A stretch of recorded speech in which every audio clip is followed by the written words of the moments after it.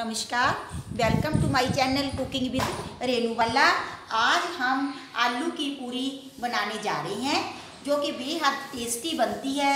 उसके लिए हमें क्या क्या चाहिए? ये मैंने चार आलू, वज़न में ये डेढ़ सौ ग्राम है one fifty gram boiled potato उबले हुए आलू हैं। और ये मैंने वैसे तीन सौ ग्राम आटा लिया है। और इसके बाद ये कटी हुई हरी मिर्चें दो, एक चम्मच वन टीस्पून है कैरम सीड्स अजमाइन हाफ़ टी स्पून अमचूर powder dry ginger powder one teaspoon सौंफ powder half teaspoon garam masala powder हरे धनिया के पत्ते, जो कसूरी मेथी और धनिया पाउडर काली मिर्च, लाल मिर्च पाउडर धनिया पाउडर साबुत जीरा, नमक सौंठ पाउडर और तलने के लिए तेल। इतने इंग्रेडिएंट हमने लिए हैं। सबसे पहले हम आलूओं को मैश कर लेंगे। अच्छी तरह से मैश करना है। कोई भी गुठली ना रहे। हमने आलूओं को हाथों से मैश कर लिया है। परंतु कई बार कोई गुठली रह जाती है तो उससे अच्छा नहीं बनता। पहले ज़माने में तो सील बट्टा रहता था, उस पर लोग कर लेते थे। अब हम इससे करेंगे, ताकि बिल्कुल मुलायम हो जाए ऐसे, जैसे सील बट्टा चलाते हैं। हम पापड़ों के लिए भी इसी प्रकार से करते हैं, जब आलू के पापड़ बनाते हैं, इससे कोई भी गुठली नहीं रहेगी और हमारी पूड़ी बहुत अच्छी बनेगी, आटा बहुत अच्छा लगेगा। ऐसे करते हुए। अब हम आलू की पिट्ठी का आटा लगाने जा रहे हैं आलू पूरी का। जो हमने विशेष बात का ध्यान रखना होता है वह यह रखना होता है कि हमने पहले आलू नहीं डालने होते। अगर आलू ज़्यादा पड़ गए तो आप आटा थोड़ा ना बार बार बार बार इतना सारा गूंद लगो आपको ज़रूरत इतने आटे की है। तो पहले अपनी ज़रूरत के अनुसार आपने आटा डालना होता है कि हमें इतना आटा, जैसे मेरे को इतना आटा बनाना है। क्योंकि अगर आप अपने पास आलू की पिट्ठी बच जाएगी तो कोई बात नहीं है। हम किसी और चीज़ में, सब्ज़ी में भी यूज़ कर सकते हैं। आटा गुदा हो या क्या करेंगे इतना पूड़ी का आटा? तो हम इसमें पहले सारे मसाले मिलाएँगे। जैसे आजमाइन एक टीस्पून कटी हुई हरी मिर्च। मैंने दो कटी है, आप अपने टेस्ट के मुताबिक कम या ज़्यादा करते हैं। आधा चम्मच अमचूर पाउडर, एक टीस्पून सौंफ पाउडर, अमचूर पाउडर हाफ़ टी स्पून और गरम मसाला पाउडर। गरम मसाला पाउडर।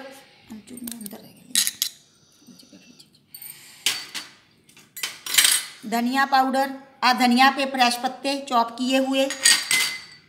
काली मिर्च, हाफ़ टी स्पून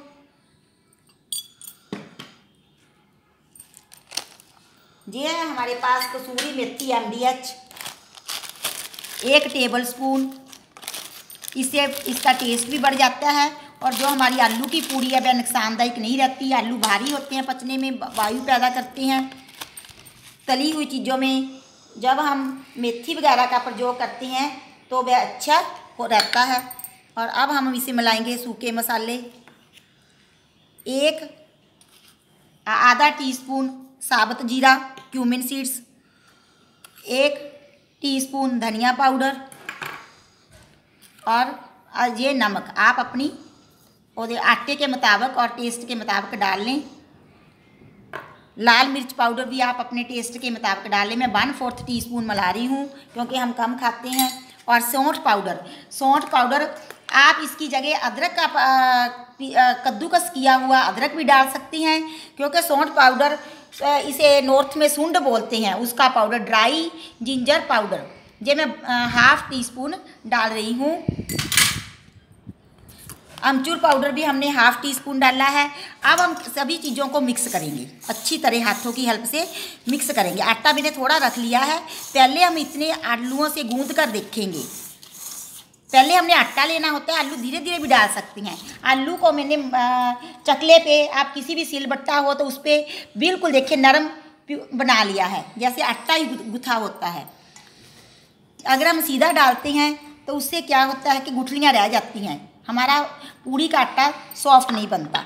हमने आलू के साथ आटे को गूँथना, लगाना होता है।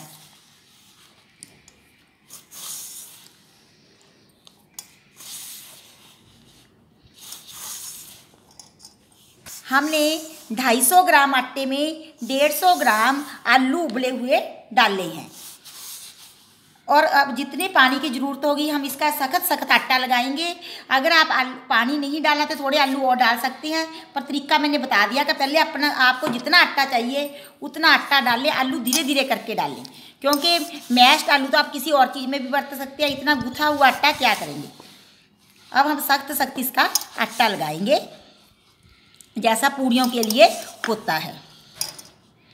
और फिर इसे दस मिनट ढककर रख देंगे, ताकि हमारा आटा अच्छी तरह सेट हो जाए।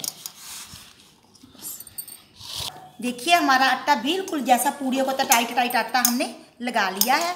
अब इसे हम ढककर 10 मिनट रखेंगे, फिर इसकी पूड़ियाँ फ्राई करेंगे।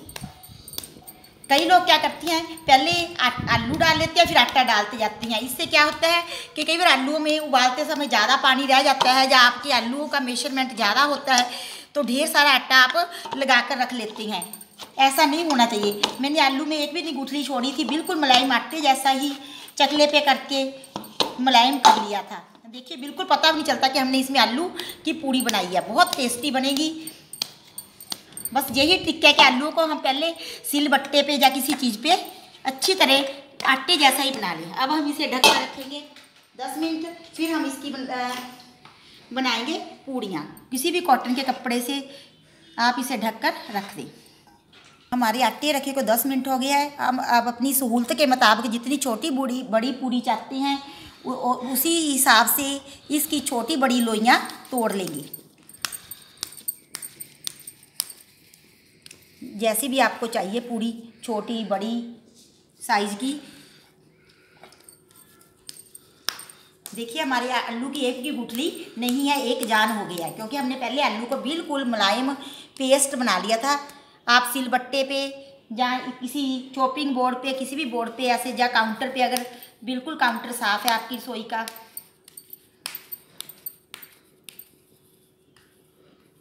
इसी प्रकार से हमने लोइयाँ तोड़ लिया अब हम इसकी पूड़ियाँ बनाएँगे।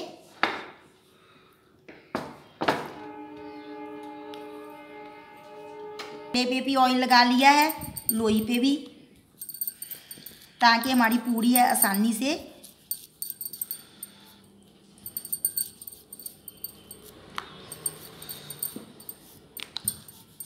देखिए कितनी स्पाइसी हमारी पूरी बनी है, उसमें भी स्पाइसीज नज़र आ रही हैं।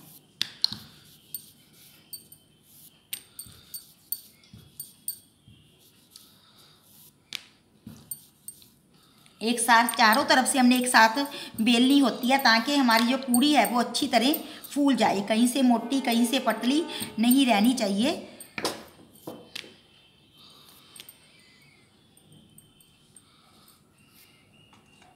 इसी प्रकार से हम अपनी सभी पूड़ियों को ऑयल लगा लगा कर बेल लेंगे। हमने अपनी चार पूड़ियाँ बेल कर तैयार कर ली है। इसी प्रकार से हम अपनी दूसरी पूड़ियों की भी बेल लेंगे। ऑयल हमारा बिल्कुल गर्म है। अब धीरे से करके हम इसमें एक एक करके पूड़ी सेकते जाएँगे। ये पूड़ी आप अचार, चटनी, हरी चटनी, धनिया पुदीने की चटनी, इमली की चटनी और मिर्ची के अचार आम जो आम आम का अचार रहता है, उसके साथ सर्व कर सकते हैं। ये खाने में बेहद टेस्टी रहती है। देखिए, हमारी पूरी फूल रही है। बिल्कुल फूल गई है। इसका मतलब ये है कि हमारा आटा बिल्कुल ठीक लगा है। देखिए, कितनी फूल गई है। जब हमारी चारों तरफ़ से पूरी फूल जाती है तो उसका मतलब रहता है कि हमने आटा ठीक लगाया है। धीरे धीरे पलट कर हम दोनों तरफ़ से अच्छी तरह इसको सेक लेंगे। हमने अपनी अचार पूड़ी तैयार कर ली हैं, बाकी भी की पूड़ियाँ भी हम इसी प्रकार से फ्राई कर लेंगे। देखिए हमारी पूड़ियाँ कितनी फुली फुली अच्छी बनी है। क्रिस्पी भी है पूड़ियाँ देखिए, पूरी क्रिस्पी है। ऐसे नहीं है कि लूज सी है, हैं। इसी प्रकार से आप सभी पूड़ियों को फ्राई कर लें। ये पूड़ियाँ खाने में बेहद स्वादिष्ट है। बस आपने एक बात का ध्यान रखना है कि पहले हमने आटा डालना होता है, आलू बाद में डालने होते हैं। नहीं तो आलू कई बार लूज रहते हैं उसमें पानी भर जाता है। तो आपको ज़्यादा आटा लगाना पड़ सकता है। आप इस पूड़ियों को किसी भी आम के चार, मिर्ची के चार, जैसे कि मैंने हरी मिर्ची और लाल मिर्ची के चार के साथ सर्व किया है, खाने में बेहद स्वादिष्ट लगती हैं। आप कहीं ट्रैवल कर रहे हैं तो सब्ज़ी वगैरह नहीं ठीक आती आती जाने में दिक्कत होती है तो आप इसी प्रकार की पूड़ियाँ ट्रैवलिंग में भी ले जा सकते हैं। ये खाने में बेहद टेस्टी है। आप ज़रूर बनाकर ट्राई कीजिए please subscribe like share and comment for my video thanks very much